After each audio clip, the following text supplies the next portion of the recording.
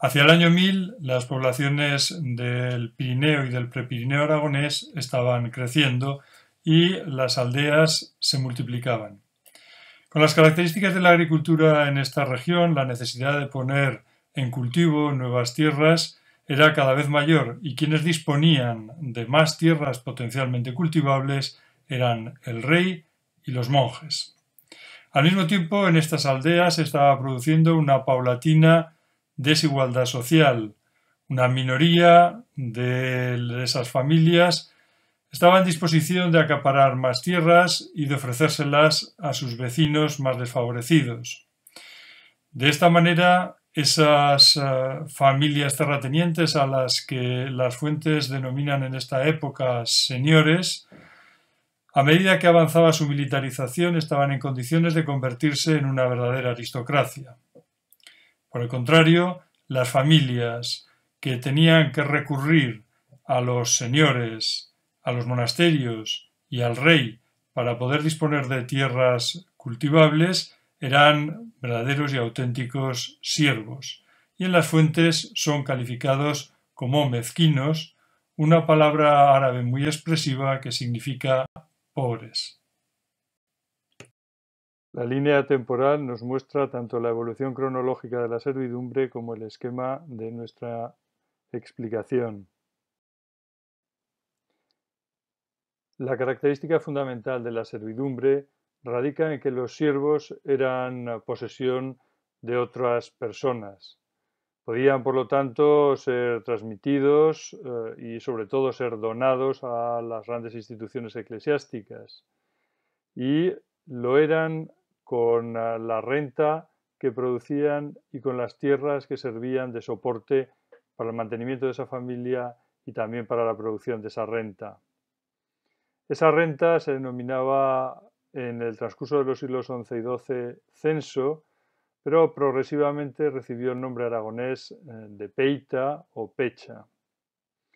En algunas ocasiones esta pecha era puramente simbólica, pero en la mayor parte de los casos tenía un peso bastante significativo. Los siervos estaban sometidos a costumbres eh, degradantes. Dentro de ellas, las más violentas, las más agresivas, eran las que les conminaban a realizar eh, las ordalías cuando pretendían reivindicar su condición de hombres libres. En ese sentido, tenían que coger un hierro al rojo, un hierro candente, o meter la mano en una caldera de agua hirviendo para coger una piedra del fondo. Una vez examinadas al cabo de un tiempo la mano y las heridas, se comprobaba si esos siervos tenían o no el derecho que reclamaban. En la imagen se puede observar el testamento de un noble aragonés, Jimeno Aznárez, hacia 1100, en el que entrega sus tierras, viñas y mezquinos provenientes de la herencia de su padre a sus hermanas Sancha y Toda. No todos los campesinos del norte de Aragón eran siervos o mezquinos. Algunos pudieron conservar intactas sus tierras por lo tanto, con ellas mantuvieron un estatuto honorable, no pagaban rentas a nadie, tenían derecho a ser juzgados por el rey, sólo debían acudir a la hueste durante tres días y en el caso de que se diera una batalla campal o un asedio a un castillo como una forma de ayudar al rey, y desde el primer tercio del siglo XII fueron considerados nobles son aquellos que se denominan infanzones. La forma más sencilla de eludir la servidumbre era abandonar las tierras de los grandes propietarios y emigrar, una posibilidad que estaba favorecida porque la conquista del Valle del Ebro permitió la oferta de una gran cantidad de tierras en condiciones de plena libertad. Los campesinos, por otra parte, practicaban una resistencia pasiva, dejaban de pagar la renta y al cabo del tiempo reclamaban la condición de libres, o se casaban con hijas de infanzones e intentaban asumir la condición de ellas, o más simplemente negociaban con los nobles y con los monasterios para que les concedieran franquicias que borraban los aspectos más eh, críticos de la servidumbre. Desde un punto de vista general, el desarrollo de los fueros de Aragón y antes de los fueros de Jaca supuso que se aplicó en todo el conjunto del reino un modelo en el que primaba la libertad de los campesinos y eso naturalmente debilitaba la servidumbre. Por último, la creación de nuevos pueblos agrupados tanto en el Pirineo como en el Prepirineo supuso un golpe muy serio para todo el ecosistema en el que se había desarrollado la servidumbre, ese modelo de pequeñas aldeas y caseríos aislados que dependían de los patronos y grandes propietarios. De este modo, en el transcurso del siglo XIII, la servidumbre se deslizó lentamente hacia su crisis.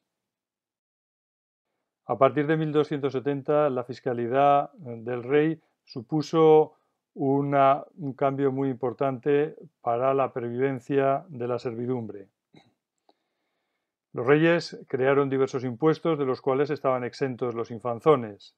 De este modo, numerosos infanzones, pero también muchos campesinos que habían sido o descendían de siervos y que residían en las poblaciones desparramadas por la montaña alta aragonesa, reivindicaron su condición nobiliaria para no pagar.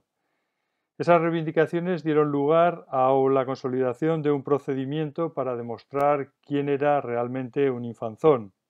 Se trataba de que dos caballeros jurasen que el solicitante era infanzón, todo ello después de una investigación que se realizaba ante el Justicia de Aragón. Como es fácil imaginar, el procedimiento judicial no era ni mucho menos insalvable y era fácil encontrar tanto testigos como, en último término, caballeros que jurasen que alguien era un infanzón. Lo más interesante de este asunto es que en lugares como Murillo de Gallego, que aparece en la imagen, consiguieron un estatuto de infanzonía para la totalidad de sus vecinos, en este caso 101, y eso permitió no solo que el número de infanzones fuera muy nutrido, sino también que muchos eh, de esos eh, infanzones fueran en realidad nuevos infanzones, es decir, descendientes de siervos que habían conseguido escabullirse gracias a la colaboración indirecta del Estado. Ser siervo era una forma rigurosa de dependencia por la tierra. En el Aragón de los siglos XI, XII y XIII suponía que la persona, la familia, las tierras y la renta constituían una unidad que se transmitía dentro de los linajes aristocráticos dentro de los patrimonios de los monasterios y de las grandes instituciones eclesiásticas y dentro también de los dominios del rey, y todo ello con la finalidad de garantizar el poder y la riqueza de una clase aristocrática sin que los cultivadores tuviesen derecho a otra cosa que no fuera al simple uso de la tierra. Mezquino, villano, hombre de signo servicio eran las designaciones teñidas de menosprecio que servían para calificar a estos campesinos, intentando mostrar de esta forma que, con independencia de cuáles fueran las condiciones materiales de existencia, lo cierto es que el deshonor recaía sobre ellos y sobre sus familias. Esta realidad, que ha sido muy poco conocida y que solamente en los últimos años se ha puesto de relieve, debe incitarnos a promover los estudios de historia social sobre el Aragón medieval, alejándonos un poco de los grandes reyes, de las conquistas, de las glorias eh, nacionales de la patria, para acercarnos un poco más a las voces ancestrales de aquellos hombres y a sus experiencias en sus vidas.